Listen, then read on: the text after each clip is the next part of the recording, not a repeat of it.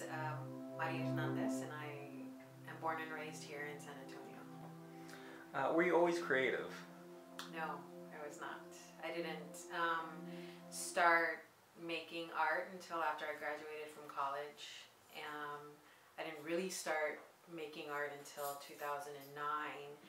And the first time that I, I feel like I was introduced to art was um, again after I graduated from college. So I didn't um, participate in any sort of creative outlet prior to that. I started volunteering for a small nonprofit organization called San Anto Cultural Arts in 2001. And that organization has um, two main programs. They have a newspaper program and they have a mural program.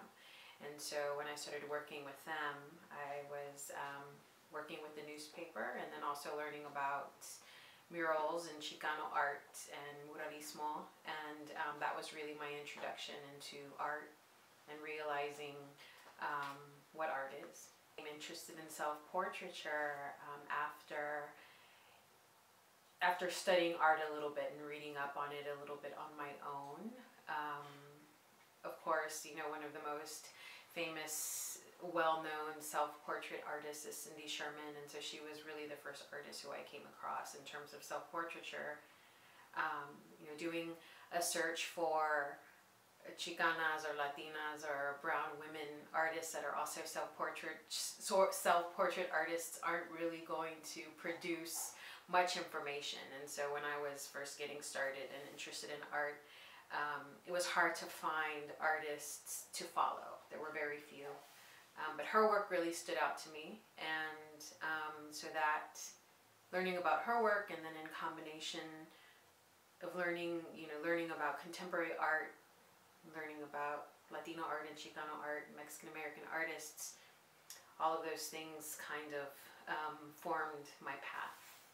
You know, you can only take so many photos of yourself where people are going to recognize you as you, and you're going to look the same. So I feel like within my work I try and um, push those boundaries a little bit and that's where the altering of my physical appearance comes in. So it's it's kind of shifted, you know, from when I first started working and using self-portraits as a way to explore identity.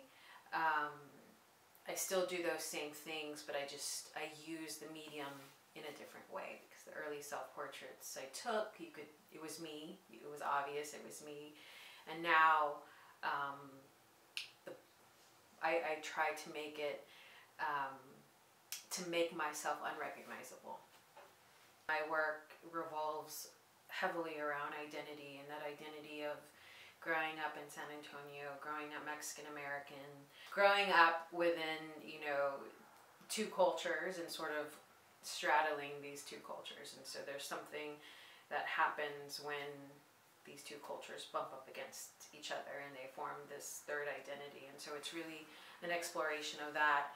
Um, you know, San Antonio is majority Latino, it's majority Mexican American. And so those, you know, the way that I grew up, you know, the, the food I ate, the language my family spoke, you know, the places we lived and you know all of that sort of forms this Mexican American experience and um, my work is about exploring that.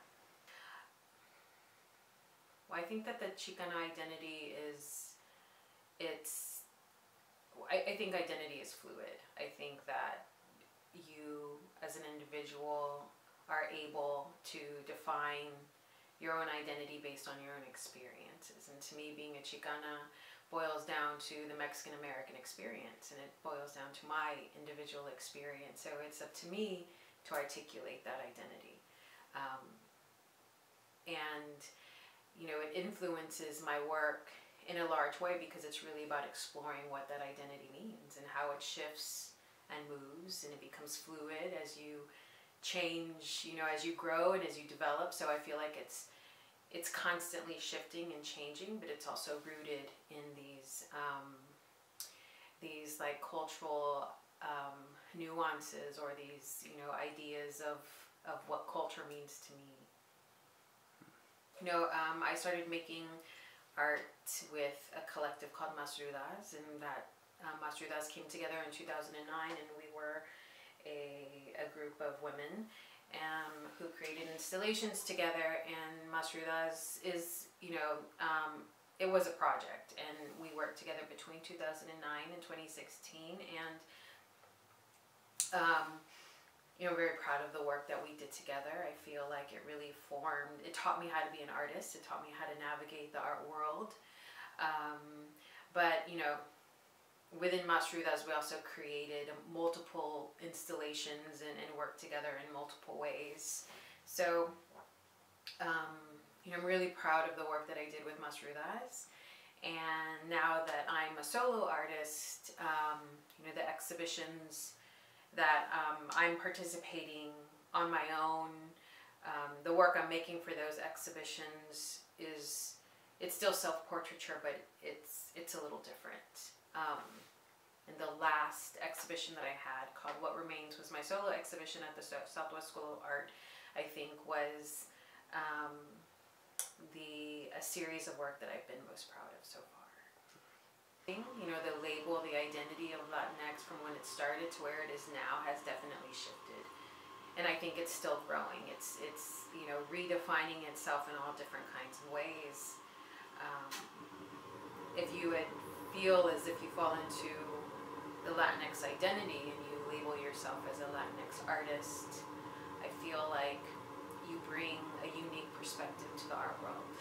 In my opinion, the contemporary art world is not a very diverse place, and that's one of the reasons why I'm in it because I feel like um, you know it's necessary for us to take our seat at the table. It's necessary for us to affect representation, and the only way that you're going to do that is by inserting yourself. Um, but I think that when these artists are given an opportunity to show, they're given, um, you know, their work is represented, this identity is represented, um, it, it adds value to art, you know, it, and what does art do? You know, art communicates things, it communicates ideas, it communicates perspectives and knowledge, it opens people up. And so I like to think of art as a form of education. Um, you're sharing your experience with the viewer and with the outside world. You know, you're, um, and that just, it adds diversity to the art world, and diversity is a good thing. And yeah, my work is definitely political. I think that, especially right now, um, I make art because um, it's a way to articulate ideas and it's a way to communicate things that I may not necessarily know how to vocalize. And the things and issues that I'm most concerned with are um, issues that affect minorities and women and um, brown and black communities. And that's all politics.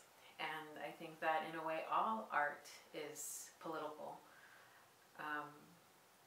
It's hard for me to, to separate um, those art and politics. It's hard for me to separate those things. One of the main you know, focuses of my work is to um, affect representation and to, to have a voice and to represent brown women.